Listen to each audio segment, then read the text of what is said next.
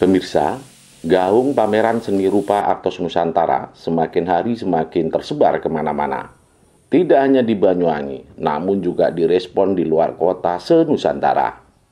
Menggaungnya kabar bakal adanya pameran seni bergengsi ini dibuktikan dengan adanya sejumlah warga yang ingin melihat secara dekat tempat di mana acara tersebut berlangsung, yakni di Gedung Tua, Pantai Marina Boom, Banyuwangi, Jawa Timur. Sejumlah warga penasaran tersebut, yakni Pungki dan Ati misalnya. Warga luar kota dari Pasuruan dan Bogor ini sengaja ingin melihat tempat acara yang hendak digelar, yakni tanggal 20 hingga tanggal 28 Mei 2023 mendatang di Gedung Tua Pantai Bum Banyuwangi. Selama di Banyuwangi, Pungki wisatawan asal Pasuruan ini mengagumi perkembangan seni dan wisata di Banyuwangi. Tidak hanya itu, menurutnya Banyuwangi sekarang juga lebih moncer dibanding beberapa tahun lalu. Tidak hanya di bidang seni dan budayanya, namun diakui juga di hampir semua sektor.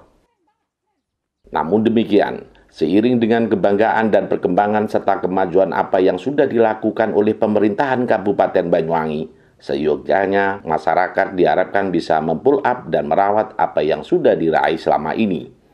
Hal kecil yang bisa dilihat menurut Ati soal sampah yang masih terlihat di lokasi wisata.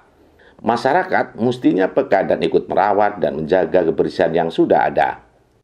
Ati juga berharap seni, budaya, tradisi, wisata, dan sektor lain yang sudah membawa nama harum Banyuwangi hendaknya mampu dirawat oleh masyarakat siapa pun di Banyuwangi, seiring dengan perubahan kemajuan program pemerintahan kabupaten yang sudah dilalui.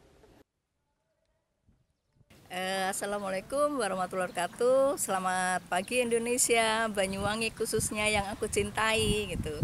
Uh, saya senang sekali di daerah kota Banyuwangi ini ujung timur daripada wilayah Jawa Timur untuk Atos Nusantara ini di sini nantinya akan ada pameran seni budaya, seni musik daerah Banyuwangi, untuk juga eh, patung-patung, lukisan, makanan, kulineran.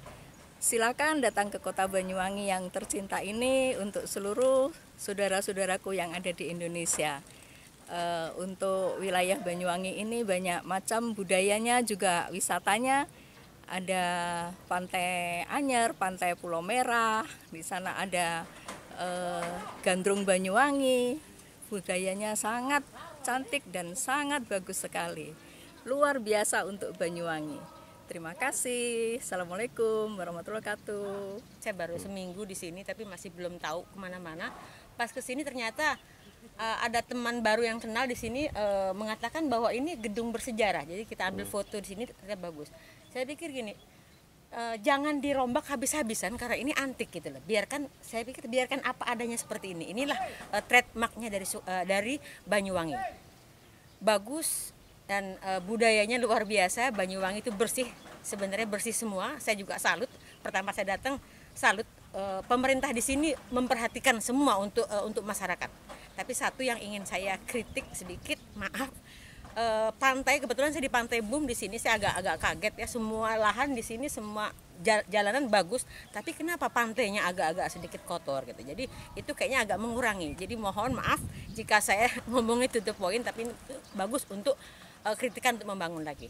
Terima kasih, tapi saya suka dengan Banyuwangi, saya suka dengan uh, suasananya, saya suka dengan uh, apa ya nyaman dan tidak uh, dan tidak berisik di sini. Saya suka sekali. Tidak macet tidak seperti di Bogor macet penuh dengan angkot. Terima kasih. Saya Ati dari Bogor.